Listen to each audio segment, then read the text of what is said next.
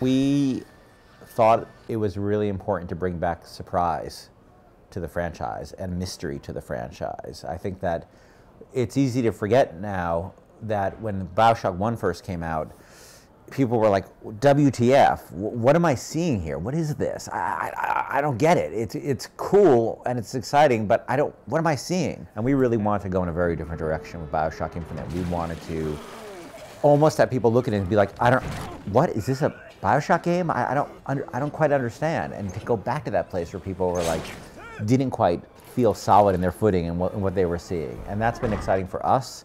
And I think you know that we weren't surprised by the reaction we got when people sort of didn't at first know what to make of it. But I think the more, especially once these people see the demo, they understand what's going on and how it fits into the Bioshock um, world.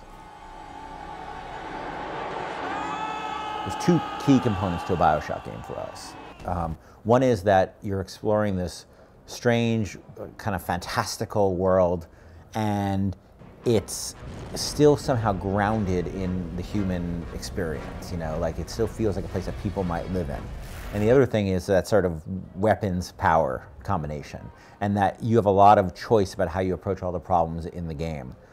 There's this expression which is when all you have is a hammer, everything looks like a nail. And in Bioshock, you tended to have a lot of corridors, and corridor, tight corridor, two enemies, tight corridor, three enemies, tight corridor, one enemy. So shotgun electrobolt tended to be something that you could use in every situation, and therefore we weren't demanding the player use a tool set. And things like, um, you know, the bees coming out of your arm, which is essentially a crowd control weapon, didn't have a lot of use because you just shoot the guy instead. You, you want to be able to challenge players to, to, to demand they use a broader palette of their tools.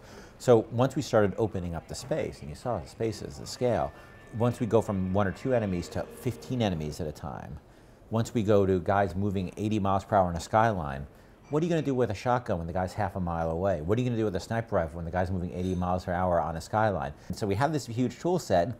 We needed to expand what we demanded of the player in terms of what we wanted them to use in that tool set. We're never interested in saying, this is a commentary on current political situation X. We try to deal with themes that are a little more universal and, and timeless. I think that if you're seeing anything that's happening in America now, or in any other country, it's not the first time it's happened. It's happened over and over and over again.